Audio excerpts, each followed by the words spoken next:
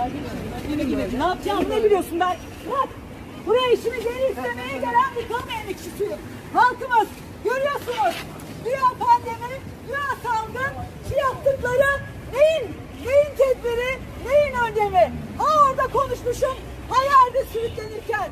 AKP iktidarı en ufak bir anayasal hakka bile öyle müdahale ediyor.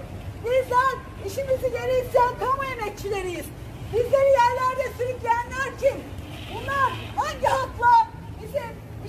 istememizi, anayasal hakkımızı kullanmamızı engelleyebilir? Bu yaptıkları idari bir işlem mi? Bu yaptıkları nedir? Yaptıkları tek bildikleridir. Yaptıkları zulmetmektir. Yaptıkları yasaklamaktır. Yaptıkları yasaklarla halkı baskı ve korku altında tutmaktır. Çünkü yönetemiyorlar, çünkü bitiyorlar, çünkü çöküyorlar. Çöktükçe tüm dünyada olduğu gibi faşizm çöktü, çökerken en çok saldırganlaşır, en ufak bir sese bile tahammül edemez.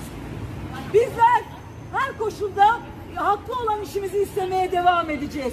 Yerlerde sürükleseniz de, gözaltına alsanız da, saçlarımızı yolup kemiklerimizi kırsanız da, üç buçuk yıldır bir milim geri adım atmadık, atmayacağız. Emekçiyiz, haklıyız, biz kazanacağız.